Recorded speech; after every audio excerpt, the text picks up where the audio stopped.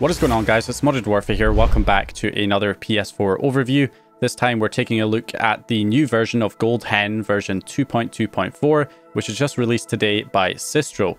Now Sistro did previously release version 2.2.3 only yesterday, however that did have a few bugs uh, which has now been fixed here in the latest version, which is why we now have version 2.2.4. So I'm going to be taking a look at all the new features that have been added in this new version, comparing them to the previous version, the main previous version we've had before, which is 2.2.2, as well as the beta versions that we've had access to for a while now. So let's go ahead and check this out. So firstly, we're going to load up Gold Hen by heading into the internet browser, going to our exploit page. I'm currently using my Raspberry Pi 02W to load Gold Hen, which has the auto USB inject. So as you can see right there, Gold Hen version 2.2.4 has successfully been loaded. Now, of course, you can use the normal exploit hosts by the time you're watching this video. They should have all been updated to include version 2.2.4. At the time of recording, Chameleon's host is one of the first ones to actually add it. So if you go to Chameleon's host, go to full manual Chameleon, you'll find that his host here does have version 2.2.4 added. And I'm sure Karo218.ir will probably have version 2.2.4 included soon. Of course, if the exploit host does not seem to change after a while, and you can't seem to get 2.2.4, then make sure you press the options button, go to settings and clear your website data and your cookies in order to remove any cached versions so that you can get the latest version running on your console. That way you'll get the latest payloads.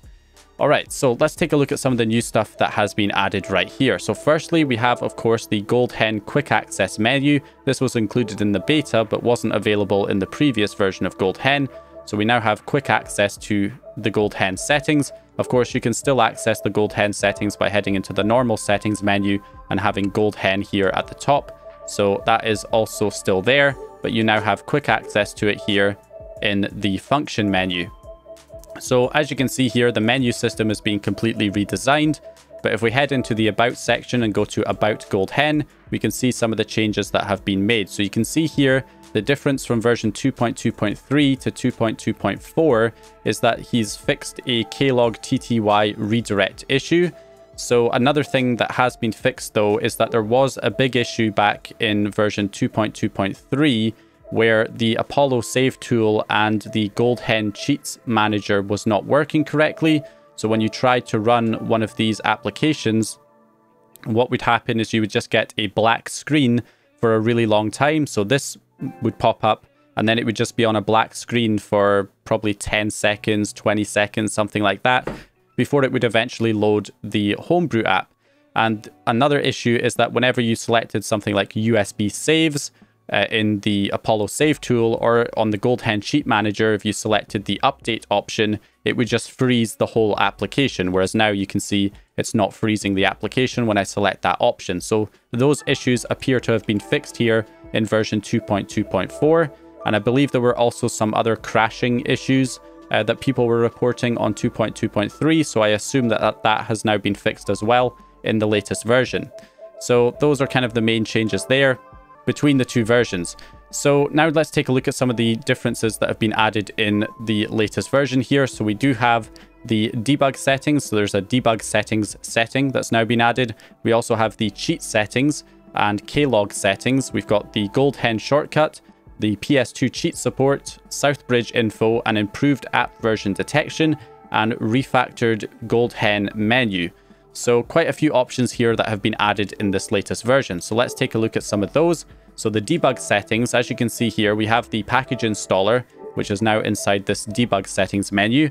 And then we have the enable debug settings option. Now this is actually set to off by default, uh, which I'm not a big fan of. Uh, so if you go into the settings, you can see that there is no debug settings now uh, in the settings menu.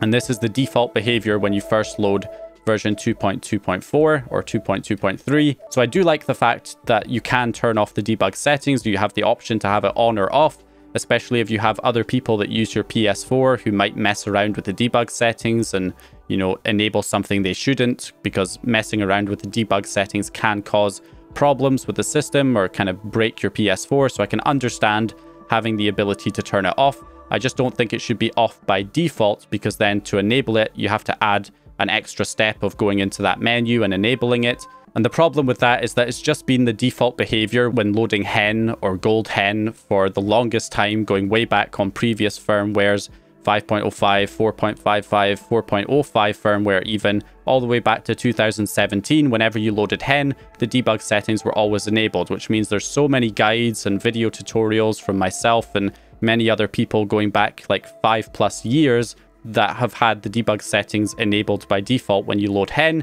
which means anybody watching any of those videos from the past five years who are not really familiar with this are going to be, you know, I'm going to get inundated by comments now about people saying, oh, the debug settings are no longer there in the settings. What do I do? So that's just, I know that's a me problem, not really a Sistro problem, but I would have appreciated it if he just left that as it was, having it enabled by default, because that has been the default behavior for years and why change something that's been fine for five plus years? But, you know, I do like the fact that you can turn it off if you want to. I just don't think it should be off by default. I don't think that should be the default behavior, but I do like the fact that you can toggle it on and off. Plus, you can also enable this mini debug menu as well, which uh, gives you access to only part of the debug settings and not the full debug settings. Or, of course, you can enable the full debug settings as it was before uh, whenever you normally loaded hen or gold hen and have access to the full debug settings on the system. So yeah, there you go. So that's another option that's been added right there. So next we have the cheat settings. So we've got quite a few options added here in the cheat settings. Firstly, you have the ability to turn the gold hen cheats off completely. So I'm running Dying Light the following edition here and you can see that the cheat menu is not showing up when I hit options and even if I hold down the share button on the PS4 controller, it's not loading up the cheats. So the cheats have been completely disabled. So that is an option if you never wanted the gold hen cheats. If you never used cheats, you can disable it completely. But of course, you can disable the cheat menu in the game options, which keeps the cheats running. So the cheats are still enabled, but they just will not show up here in the game options. However, when you're in game, you can still hold down the share button to bring up the gold hen cheats menu. So that's an option if you don't like having the Gold Hen Cheats menu in the game options, but you still want to have access to it when you're in game, then you can still do the long press of the share button to open it up right there. And of course, if you just press the share button once, it will load up the normal share. You have to hold down the share button to actually bring up the cheat menu. So that behavior still exists right there. And of course, if we head back into the cheat menu, we can of course enable the cheat menu in the options and then it will come back here and you can access it this way as well. So you've got those options now added there into the cheat settings. You also have the option to change the cheat menu combo. So instead of holding down the share button to bring up the cheat menu while you're in game, you can change it to a fast double press of the PS button. So if I do that and then go back into the game, if I just press the PS button once, it will take me out to the home screen as normal. But if I double tap it real quick, then it will bring me to the cheat menu instead. So if you prefer that instead of holding down the share button, then that is another option. I do have one of my controllers with a jammed share button, so the share button doesn't work. I don't know if that's a common fault with the PS4 controllers or if it's just, you know, I got unlucky with one of my controllers where the share button's jammed. So, you know, if I was using that controller, it's nice to have the option to open up the menu using a double press of the PS button instead, so I can still use that feature. So that's pretty handy. And of course, you can turn it off completely as well so that, you know, if you don't want any way to access the cheat menu in game, then you'll have to come out and access it through the options menu instead. So you have all those different options there for the cheat menu. So anyway, let's go ahead and take a look at the server settings now. So again, we have the FTP server. That's pretty standard. So you can run an FTP server on the PS4 uh, as before, and also the bin loader server, which allows you to, of course, inject payloads and load the payloads from Gold Hen itself using port 9090, uh, which is also still there. So next we have the kernel log settings, which I'm not entirely sure what this does. Uh, enable TTY redirect shows user prints in klog. It could give some lag in case of excess of logs. So not 100% sure if this is just to kind of enable or disable the kernel log, because the kernel log, even with this disabled, the kernel log still works over the network. If you listen in on Telnet using uh, port 3232, you can get the debug log from the console. and it still seems to work even with this disabled. And enabling this I haven't seen any changes so I'm not 100% sure. Maybe enabling this prints other information to the kernel log that it doesn't normally do. Not 100% sure on that but uh, yeah, that's essentially what we have there in the settings. Of course, the PS2 cheats were also added, which essentially means that the Gold Hen cheat menu now supports PS2 games that are running on your PS4 as well. So if you're running PS2 games uh, with the built-in emulator on the PS4, then you'll have access to the Gold Hen cheat menu just like you do here with PS4 games. And you can enable and disable your cheats for your PS2 games uh, using the Gold Hen cheat menu. So the last thing to mention that was also added is the Southbridge info. So if you head down to system and you go to system information, you can see it now says Southbridge down there at the bottom. So Belize 2A0 0x40100. So there's different Southbridge versions. There's Belika, there's uh, Belize, there's um, Aeolia or something. So yeah, the reason why you want to know this is that if you're running Linux on your PS4 or you're planning to run Linux on your PS4 is that there's different kernel versions of Linux that are tailored towards different south bridges for the PS4. So of course, if you run a mismatched version, then you might get worse compatibility or Linux might not even load on your PS4 if you're using one that's meant for a different south bridge.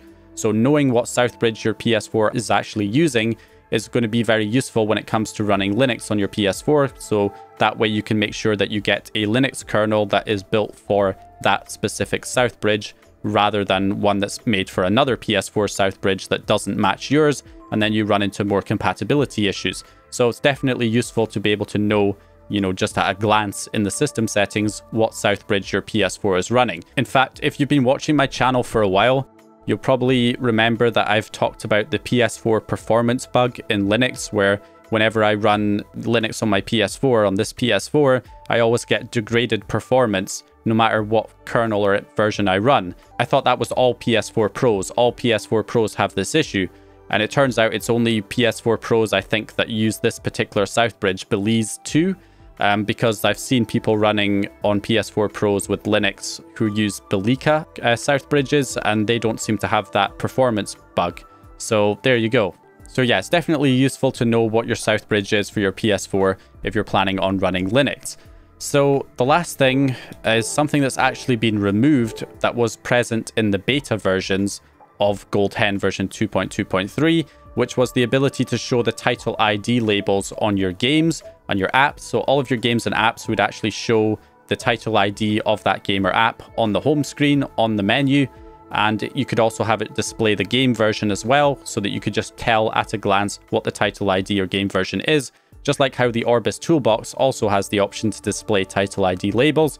It was basically a similar thing to that in the Gold Hen settings, not quite sure why it's been removed. I'm sure there's a valid reason why it was removed. It was maybe causing some issues, but you know, I would definitely like to see that feature return at some point in the future, maybe in a future version, because that was very useful.